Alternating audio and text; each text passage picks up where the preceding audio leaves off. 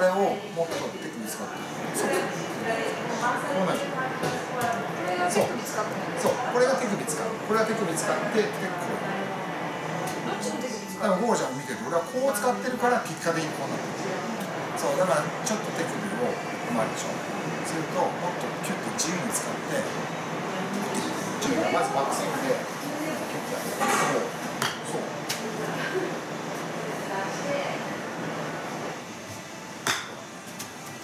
こんなバックスイングで手使ってないでしょ。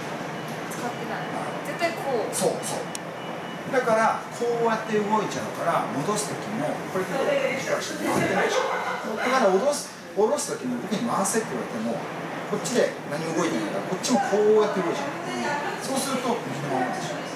でも今みたいにダメだとこう使うとこれ回ったじゃん、もっと。うん、動いてるでしょだからそうそう。だから戻る時にこういった行きやすくなっただからこうこういう感じとかやるじゃない僕のこれ見てこれ結構つけてくるだけ動くでしょ。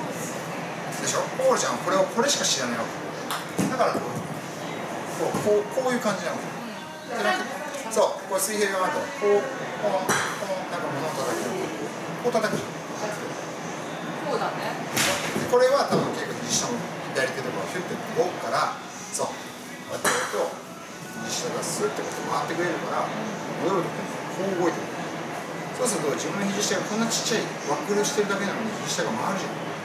回るってことは肘下が回るってことはクラブは右か左に動いてくれるってこと。インパクトゾーンが長いってこと。そこはもう理解してるでしょ。理解そう左に行けば長いんだよ。でそうそう。ここからここまでそう。打てる感じ。そう。でゴールちゃんが大事に行くとか普通にインスタみたいにちゃっくりしてる時は別にゴールちゃ下手なわけじゃなくて重さが右のままだ右右さが右重さが右だからちゃっくりしてしまったわけでしょ重さが右ってどういうこと？変わってないってこと肘下が脳旋回ってことでしょ。そう。ってことは肘下が脳旋回そうましてやこうなるわけさらに。そう頭に分かってきた。そうすると私の中でバックスイングで肘下が何も動いてないからダウンでも肘下が何も動かない。こうやってあげると肘下がちょっとこっちに回るじゃん。ほら別にやってるつもりなくてもヒュッてやったらこっち回るじゃん。だからこうやってあげると、うんそうこのワンケースそれはフルスイングが一番ちっちゃくなるフルスイングのドライバーの時も実はその肘下の動きがあるわけ。バックスイングでそうポーゃんの場合はウィークポイントはバックスイングなんですバックスイングで固めちゃってっからダウンで動くわけない。そうですね。そうそう。肘下だけ呼吸の表現そう普通ねめっちゃ飛ぶし。しかも普通でしょよく見る安定。これをやりたくて多分こうやってやってるでしょ。うん。そう。だから そう。右を立ってこうしたらこうなるでしょ。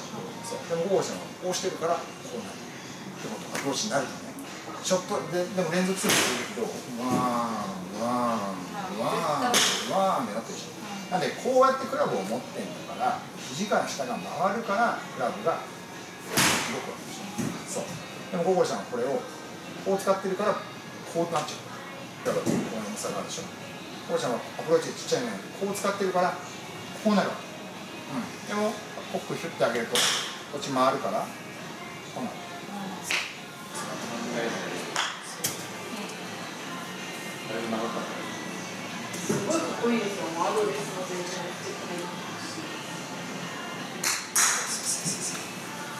これが普通ね。最後までご視聴いただきありがとうございました。他の動画が気になる方は左の動画をタップ。チャンネル登録は右の登録ボタンをタップしてください。コメントと高評価もよろしくお願いします。